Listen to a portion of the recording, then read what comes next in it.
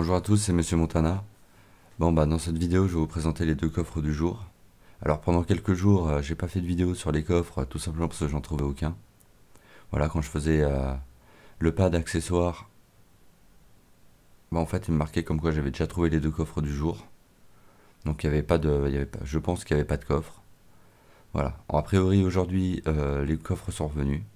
Je suis allé regarder et j'ai vu que c'était à 0 sur 2, donc il y avait deux coffres à trouver. Donc voilà, les deux coffres, bah, le premier euh, est au bout de piste, donc c'est plutôt facile à trouver. C'est celui qui est sur terre, c'est toujours le plus simple à trouver. Et comme d'hab, bah, il y a deux coffres, il y en a un sur terre et un en mer. Donc euh, comme d'habitude, bah, celui qui est en mer est plus difficile à trouver. Mais bon, les deux aujourd'hui sont quand même assez simples, les deux sont tout proches de la piste d'atterrissage. Donc c'est plutôt pratique.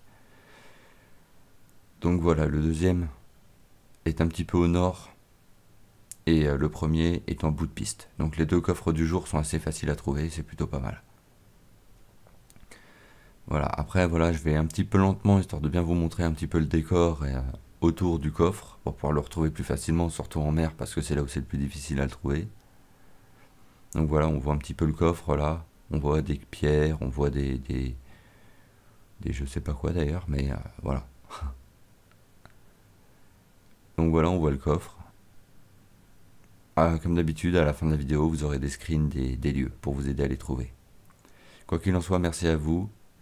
N'hésitez pas à laisser un commentaire, vous abonner. Quoi qu'il en soit, merci à vous et bon game. Allez, salut